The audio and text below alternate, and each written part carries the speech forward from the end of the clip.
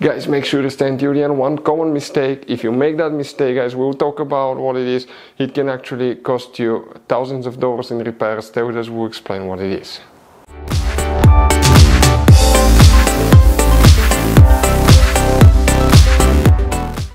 Hey guys, welcome back to Auto Repair guys. Thank you guys for watching and subscribing to the channel. Today will be super helpful video to any of you having a BMW 5 Series generation F10, F11 from year 2010 to year 2017. If you need to find where the blower, motor, fan fuse is located, which fuse you need to check, where you can buy cheap parts, tools, fuses, relays at a good price, quick shipping, that way you do not waste money and time. Why it's always a good idea to test fuses and relays all that guys will be covered absolutely free for your convenience. Make sure to stay until the end. Before we start, let us tell you a little bit about us guys. Every single car we get here at the garage, we try to make at least 2 to 300 free repair videos guys. We take them completely apart, we show you how to do almost anything. Transmissions, engines, bodywork, codes, fuses. Why we do that? Because our mission in the shop is to save you guys as much money as we can. All we need in return, please subscribe to the channel, like the video, that way we can keep making these free videos.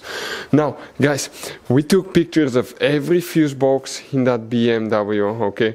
Uh, every fuse box so we can clearly guys show you where everything is located so you can clearly see the fuses because otherwise they're hidden in places where practically we cannot get the camera. So we're going to show you one by one okay? We have video about every single fuse every single relay. So let's say you're in the middle of nowhere you need to guys okay find where the fuel pump fuse is located. All you have to do watch our video. It will take you probably guys less than two minutes to replace that fuse and you're back on the road. Otherwise you'll be stuck in the middle of nowhere guys. We make those videos for your convenience. Now uh, we'll make video for every single fuse and every single relay guys. And we have more than 14,000 free repair videos on our YouTube channel. Check it out. They can save you thousands of dollars in future repairs so for the blower motor fan guys, okay, now we need to check multiple fuses. There is very limited information, we'll be working in a few fuse boxes, make sure you stay until the end. Now there are very many hidden fuse boxes in that car, we'll recommend to check out the video on our YouTube channel about fuse box location on BMW F10, F11. The first thing guys, okay, that uh, you will need to kind of like do today will be to open the passenger door. Then you need to open the glove box and behind the glove box on the right side, on the very back, you have a cover, remove it and you get to a fuse box with a layout like this one. Before we continue, let's, let's explain quickly why it's always a good idea to test fuses and relays. So let us tell you guys why it's super important to test fuses and relays. Fuses guys sometimes are really hard to know if they're burnt or not. For instance, I'm going to pull one fuse here, okay, and sometimes you cannot clearly see if they're good, they're bad. And let's say you think you have a good fuse, you put it back in, and you end up having problems again, and you spend time, money, you buy parts, diagnostics, you pay for services that you don't need, guys. You practically wasted your money. So all you have to do waste uh, check your fuses that way you don't waste money guys. So always test your fuses. Even if you think it's good always test. It it even happened to us guys.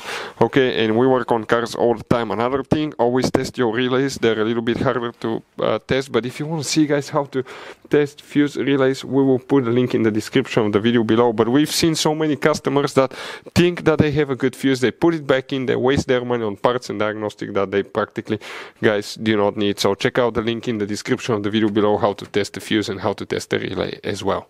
So guys, if you want to buy fuses, relays, parts, tools at really good price, quick shipping as well guys, we're going to put a link in the description of the video below guys. Uh, make sure you get some for peace of mind and you can put some spare ones in the glove box. So here guys, okay, what do we need to check now? Multiple fuses, make sure till the end. We work in three different fuse boxes for the heater fan, also known as blower motor fan fuses.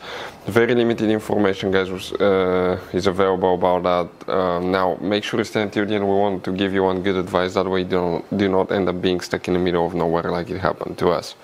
So if you come right here guys, we're going to zoom in here and come in that bottom row of fuses. You need to check guys fuse number 65, that fuse right here okay 65 some cars may have fuse 68 in that fuse box but specifically ours stops at 67 68 might be in uh, an extra row right here for some specific models. Then you need to open the trunk. In the trunk guys on the right side that's the cover that you need to remove. Underneath you have another fuse box.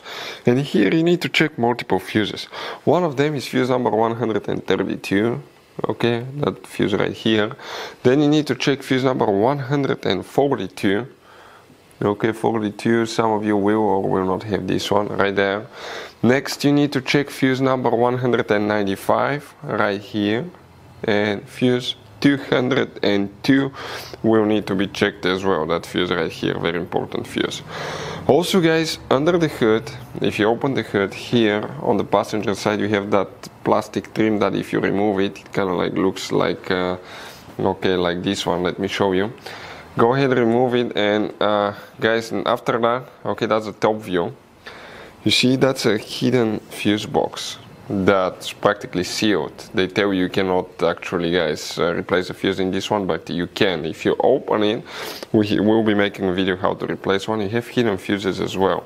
So that will be where you will need to check some extra fuses. In some models, you may have a hidden blower motor fan heater fuse there as well that you will guys need to check.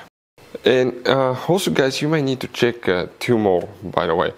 One of them is known as fuse number 121 it will be that fuse right here for some models that can control uh, control it as well. And the other one is fuse number 177 which will be that 20 amp fuse that you will need to check here as well so you guys have all kinds of different fuses, relays, okay, in that car.